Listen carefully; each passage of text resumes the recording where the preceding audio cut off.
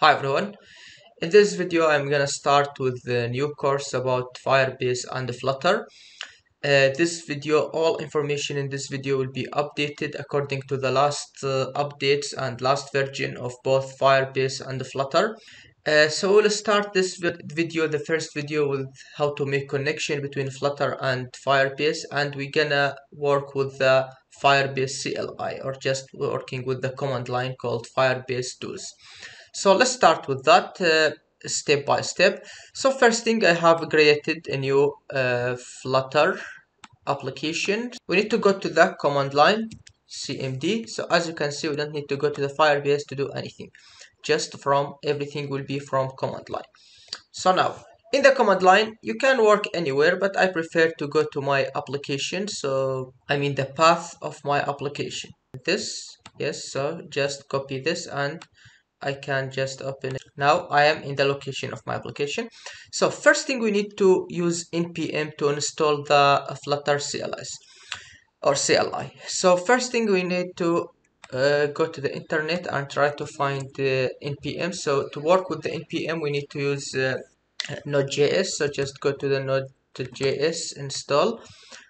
Yes here. Go to the download. Here windows installer. And as you can see it will here I already have it so I don't need anything. So you need just to install that step by step. It will be very simple. After that you need to close and reopen the command line. And you need just to test npm and just say v to check the version. So this is the last version 9.5.0 then i need to install the firebase cli so here i will use npm install here g and then the name of the package firebase firebase tools. That's it. After that also we need to restart again close and open the command line to work with the flutter or flutter fire so first thing we need to like add it in the activated activated the uh, the firebase cli dart pub global activate flutter fire cli we need just to activate it publicly in the environment so just enter. Now we finish. We can now use the fire firebase command. And here I could check the version so we need to check if it is working. You need just to close and open. Now yes it is working without any problem. Cls i will delete everything. Close. Now i need to log into the firebase. Of course you need to have gmail account and simply you can log in in the firebase account because firebase is belong to the google. So if you have google account that's it. So now just right here firebase login. That's it. Now we'll navigate you to the here just say yes to allow. Now that's it. Now which account you want to use? So of course simply any account I can use here. For example I need to use this account or this account or this account. So I'll prefer use this account my account here. Then just say yes allow. That's it. Firebase login successfully. So now I don't need this. Close. And return back to the command line or terminal. Log it into my account. Right? Flutter. Now I've created the flutter project and we are in the path for flutter project then now we can create a firebase project. So here simply we need to use flutter or i will cls to delete everything. Fire and then configure. That's it. So now fetching available file so we'll fetch all the project. Maybe you can you have already you already have a project in the uh, in the firebase you created.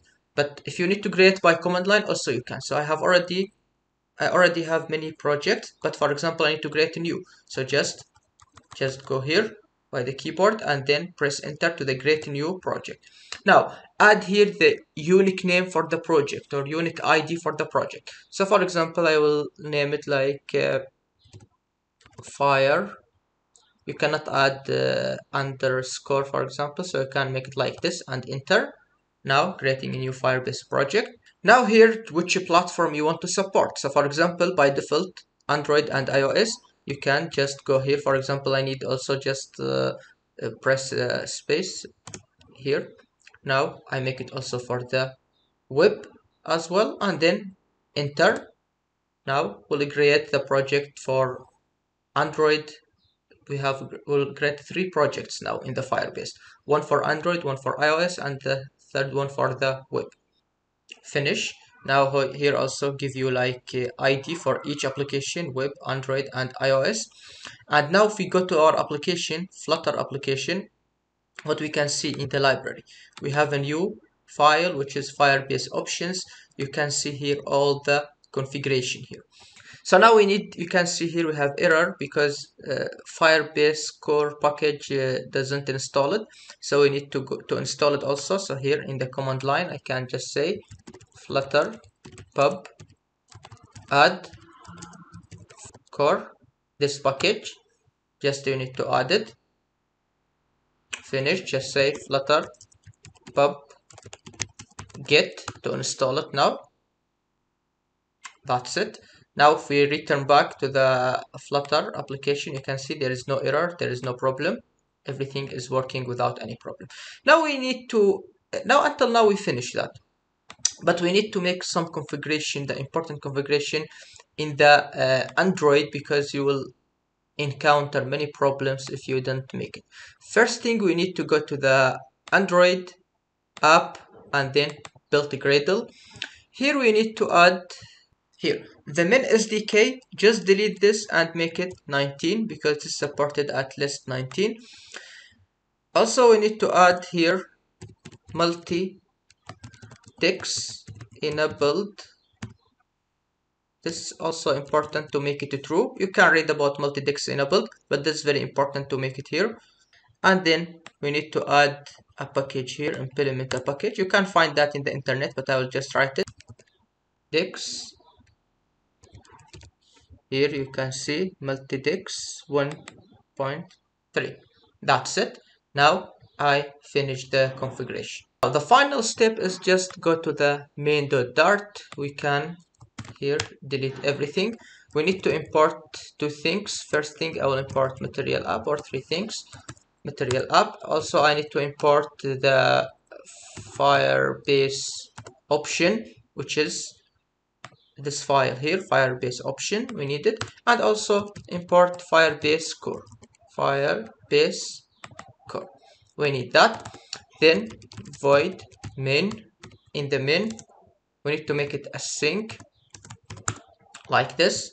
We need here to initialize the flutter widget. So here widget flutter binding dot ensure initialized so we need to ensure we will boot or load load all the framework before uh, working with the uh, flutter or widget. So we need to initialize it before. After that we can also initialize firebase.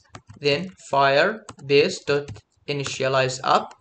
Inside it from option we will get here options firebase options current platform so whatever the platform we don't care just current platform android ios web or whatever. That's it.